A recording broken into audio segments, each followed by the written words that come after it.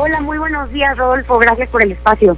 Al contrario, Alejandra, pues eh, se apuntaron un 10 con esta investigación.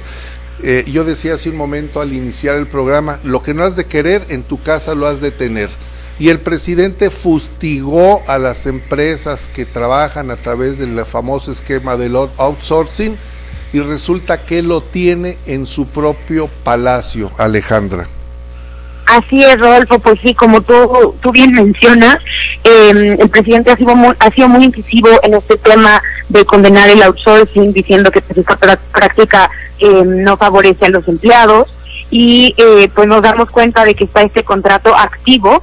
Actualmente em, el personal que brinda el servicio de limpieza para Palacio Nacional, que es no solo la oficina, sino la casa también del presidente, eh, pues está contratado por el esquema de outsourcing. Eh, esta es una empresa que se llama Decuaro y pues encontramos aquí otras irregularidades, no es únicamente que sea una empresa de outsourcing, sino que esta empresa tiene como domicilio fiscal eh, un departamento en Granjas, México, y cuando eh, Mexicanos contra la Corrupción acude al departamento para platicar con, con la gente de la empresa, pues se da cuenta que es un departamento eh, pequeño, donde vive una señora con su hija que dicen no saber nada sobre la empresa y que pues no tienen ni idea, ¿no? Que ellas viven ahí desde hace años. Se habló incluso con la administradora del edificio, la cual dijo que pues sí, que habían ido en el pasado también a preguntar por esta empresa de Cuaro, pero pues que no, que ahí es un departamento residencial eh, donde viven estas personas, ¿no? Entonces, pues, esto es otra de las inconsistencias. Eh, yo tuve oportunidad de platicar con personal justamente de limpieza de Palacio Nacional, eh, pues para ver dónde firman, a dónde van ellos por sus papeles. Eh, me comenta que bueno, e-, esta persona me dijo que, no tiene idea de ningún domicilio en Granjas, México, y que de hecho nunca la han citado en una oficina para hacer sus trámites, que todo trámite lo hace ahí en Palacio Nacional, y que tiene entendido que hay una, una dirección en el Estado de México, pero únicamente que, que no tiene ningún conocimiento de algo en Granjas, México, entonces pues bueno, hay cada vez más inconsistencias como podrás darte cuenta. Esta empresa de Coaro y, dice de Coaro y supervisión, ¿es el, ¿es el nombre correcto de Coaro supervisión, SADCB? ¿O nada más de Coaro? ¿Me escuchas, Alejandra Barriguete? Bueno, bueno, no, perdóname, como que te me estás viendo tantito. ¿Sí me escuchas? Ya, ya te escucho mejor, perdón, ¿me puedes repetir la pregunta? Sí, te comentaba si de Coaro, porque además en el reportaje dices que este cambió de razón social, ¿se llama de Coaro y supervisión o nada más de Coaro?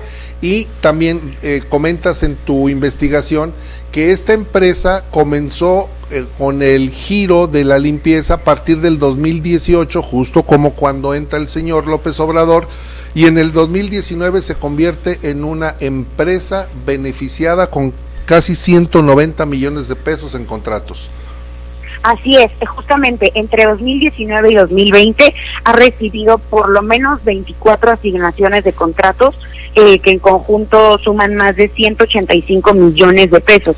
Eh, entre lo que encontramos en los documentos es que esta empresa tiene por lo menos 1.500 empleados, por lo cual entenderás una vez más que nos parece tan extraño que una empresa que tiene tantos millones de pesos en contratos y que supuestamente tiene tantos empleados, pues tenga su domicilio fiscal en una en un pequeño departamento donde además las personas dicen ni siquiera tener idea de esto, ¿no?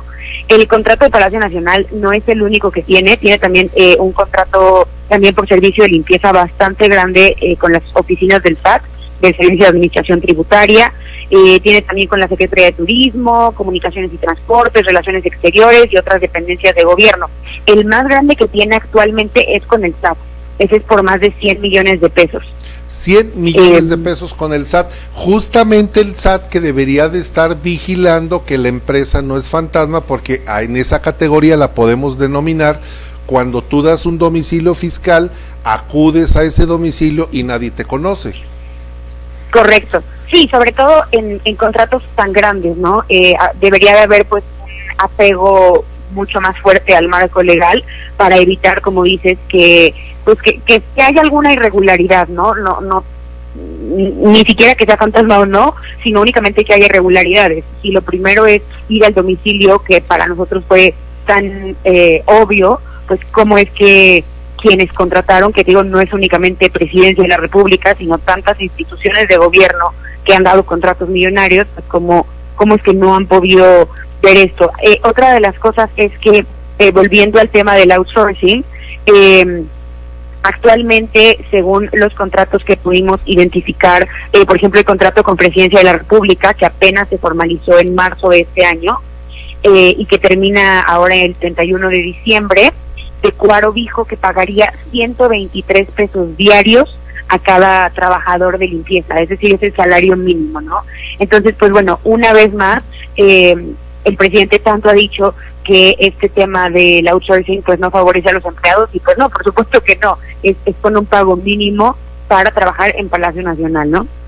Es una vergüenza lo que está sucediendo porque justamente lo que el señor se la pasa diciendo de los empresarios mafiosos que no cuidan a sus trabajadores, él lo tiene en su propio palacio, pagándoles una miseria a los trabajadores y este, sin las prestaciones que deben de tener por ley. ¿Quién es el representante legal, Alejandra Barriguete? ¿Quién es la, el representante legal de esta empresa? Eh, bueno, mira, quien firmó el contrato del, del 3 de marzo, ay, es que aquí lo tengo, espérame, perdón. Oye, a ver, ay, no vaya a ser una persona que ya ni, ya ni vive, que, que, que usted tenga acta de fallecimiento y la utilizaron para... No, no, no. Pues de hecho, eh, Mexicanos contra la Corrupción buscamos al, al representante legal de la empresa, pero pues ni en los domicilios ni en el teléfono que dieron a presidencia este nos eh, obtuvimos respuesta. Se llama Gonzalo Arrevillaga Falcón. Es quien firmó el contrato como representante legal de la empresa y hay manera de buscarlo al señor. Dice, no lo encontraron. Eh, pues mira, hasta ahorita no hemos encontrado que, que, sea una persona que no que ya no viva o algo como esto. Sin embargo, pues no, no pudimos tener contacto con él. Evidentemente, antes de la investigación se le busca, bueno, antes de publicar la investigación se le busca eh, para también saber qué es lo que está pasando, pero no se pudo tener comunicación con él hay que buscar en, la, en, los listados que tienen los partidos de los del famoso INE, tal vez por ahí aparezca. También señalan en la investigación Alejandra Barriguete que invitaron a una empresa fantasma, porque así le ponen ustedes, de las eh, identificada como una empresa fantasma o facturera para que concursara o para que hiciera, no concursar porque es una invitación a, a restringida a, al menos a tres proveedores pero uno de ellos limpieza y mantenimiento Cielsa o Gielsa, no sé cómo no se pronuncie porque está con X y pues si puede ser eh, si por ejemplo si es eh, de oaxaqueña pues sería con J Gielsa limpieza y mantenimiento Gielsa pero es fantasma y es facturera también o facturera Así es, eh, cuando se hace esta invitación a por lo menos tres proveedores, uno de estos invitados es, es esta empresa que mencionas, Limpieza y Mantenimiento Chielsa SADCB. Eh, sin embargo, esta empresa desde noviembre del año pasado había sido incluida en el listado de, de personas identificadas como empresas fantasma o factureras. Eh, sin embargo, a pesar de que ya, eh, ya había sido eh, etiquetada por el SAT, pues fue invitada para eh, para eh, este proceso. Evidentemente, pues no, no fue la, seleccionada, sino que fue de Cuaro. Sin embargo, pues está compitiendo, o sea, también no estaba tan difícil la competencia, ¿no? Era competir contra una fantasma y contra otra, entonces, pues así tienes incluso más las de ganar. Esto lo que nos hace suponer, digo solamente suponer porque no lo podemos afirmar de cierto, que se trata de un auténtico acto de simulación para asignarle un contrato a esta empresa que evidentemente, volviendo al, al tema presuntivo, pues se trata de algún distinguido miembro de la 4T que le encontró un jugoso negocio contrata, su, eh, subcontratando personal a un salario mínimo, pero por otro lado cobrando unos grandes montos. Digo, porque ¿qué empresa tiene en estas alturas 185 millones de pesos en contratos? Correcto. Sí, pues eh, como dices, hasta ahorita eh, todo suena muy sospechoso. Mientras más fuimos investigando, más encontramos irregularidades y sin duda es un tema del cual estaremos dando seguimiento.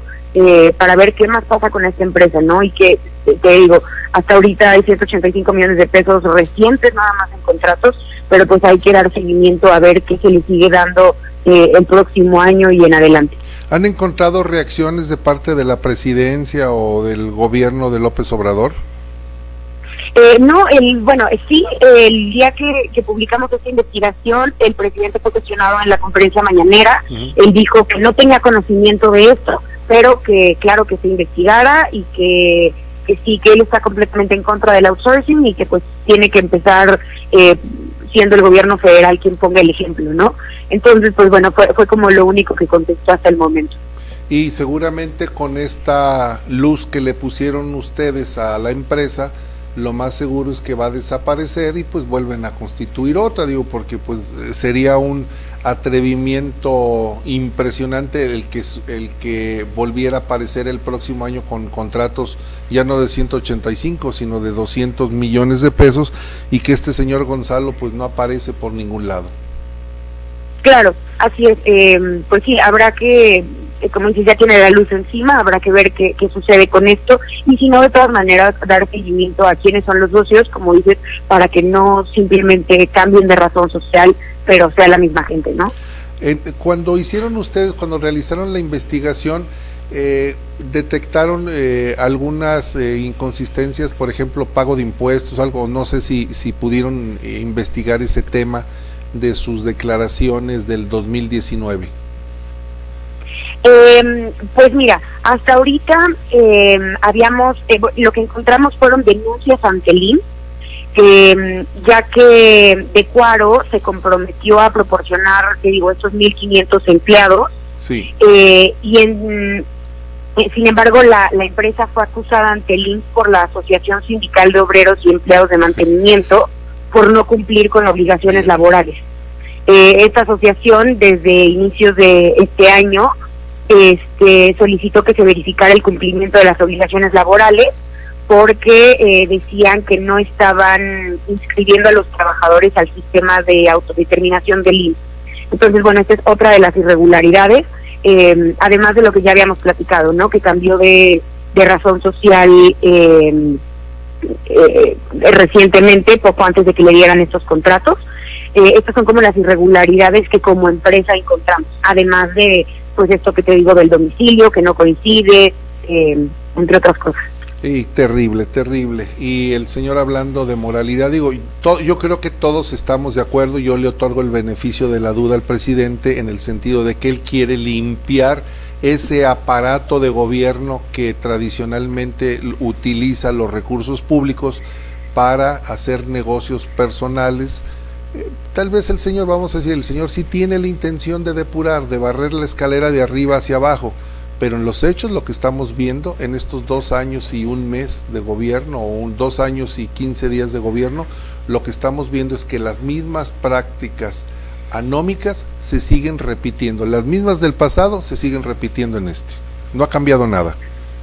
Así es, y bueno, como bien dice el dicho, ¿no? El buen juez por su casa empieza.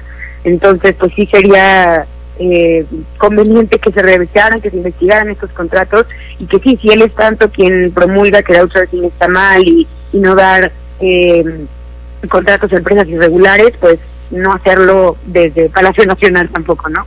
Así es, ese es el peor ejemplo. Dicen que el buen juez, como lo dijiste, el buen juez por su casa empieza y el ejemplo lo debiera de dar en su propio palacio, que los contrate a los señores, a los humildes trabajadores, que los contrate que les dé su plaza y que no tenga por qué contratar una empresa a la que además le tiene que estar pagando los gastos de administración, la utilidad y todos los, adicionales que lleva. Pero bueno, ese es el tema de López Obrador, de fustigar por un lado, ver la viga, eh, dicen, en el ojo, ver la paja en el ojo ajeno, pero no la viga en el propio. En fin, Alejandra Barriguete, felicidades por este trabajo impecable que realizan ustedes. Muchas gracias, Rodolfo. Que tengas buen día y saludos a tu auditorio. Gracias, Alejandra Barriguete. Un saludo para ella. Y bueno, te deseamos una feliz Navidad, Alejandra.